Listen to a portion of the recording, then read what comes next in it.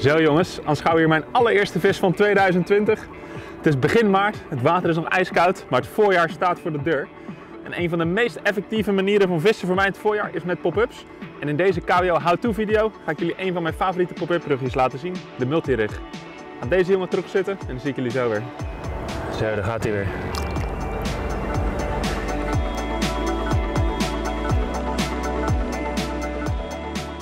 Mijn handen zijn weer enigszins opgewarmd. Het water is nog erg koud, onder de 10 graden. Maar wel een goed teken dat we al vis hebben gevangen. Dat betekent dat de vissen zijn ontwaakt en dat ze dus vangbaar zijn.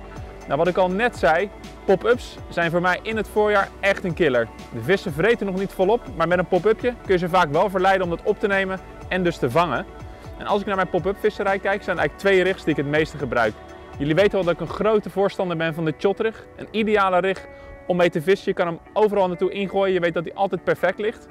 Het enige nadeel van de chotrig vind ik is dat hij relatief kort is.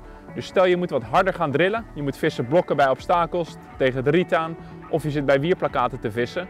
Dan vind ik de chotrig ja, toch wat spannend om veel druk op te zetten. Dus ik vis dan liever met een langere onderlijn.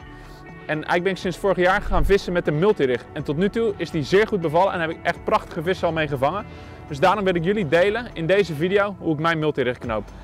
Ik pak hier een Combi-Link materiaaltje. Dus dat is een gecoat materiaal met een binnenkern die soepel is. Ik knip hier ongeveer een centimeter of 25 vanaf. Wat we vervolgens gaan doen is eigenlijk twee lussen knopen aan beide uiteindes. Het ene uiteinde zou je bevestigen aan je wortel.